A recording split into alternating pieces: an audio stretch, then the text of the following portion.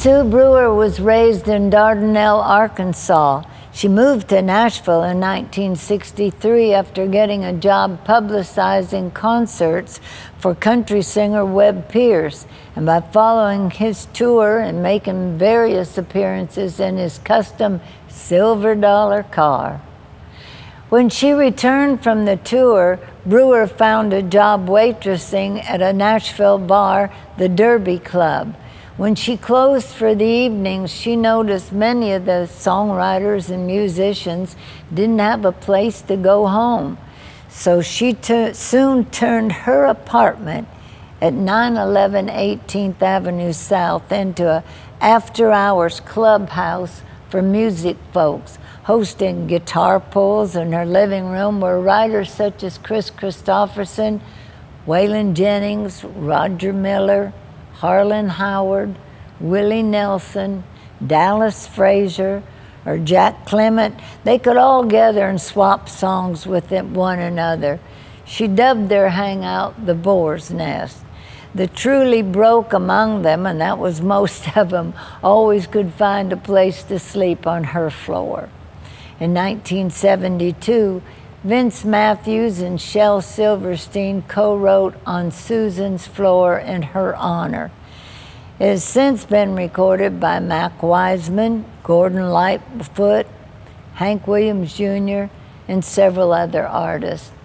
Sue worked nights as managing partner at George Jones' Possum Hollow nightclub.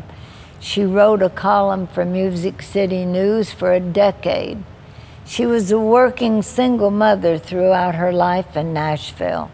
She fought breast cancer for 12 years before passing in 1981 at the age of 48. Toward the end of her life, she answered fan mail for Waylon Jennings. In 1984, Jennings established the Sue Brewer Fund, which provides scholarships for students at Belmont and Vanderbilt universities. In 1985, Jennings honored Sue with a two hour television special named The Door Is Always Open. She was inducted as an honorary member of the Nashville Songwriters Hall of Fame in 1990.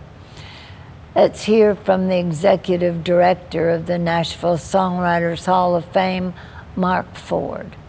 Hello, I'm Mark Ford, executive director of the Nashville Songwriters Hall of Fame.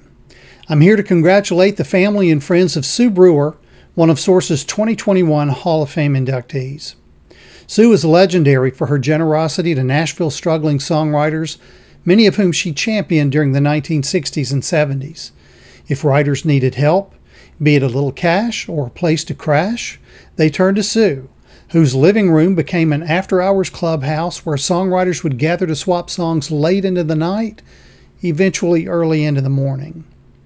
In 1990, in recognition of her generosity, Sue was inducted into the Nashville Songwriters Hall of Fame alongside so many of the legendary songwriters that she befriended. It's gratifying to know that once again, Sue's contributions are being honored with her induction into the Source Hall of Fame. Congratulations. It is an absolute joy to induct into the 2021 Source Hall of Fame Sue Brewer.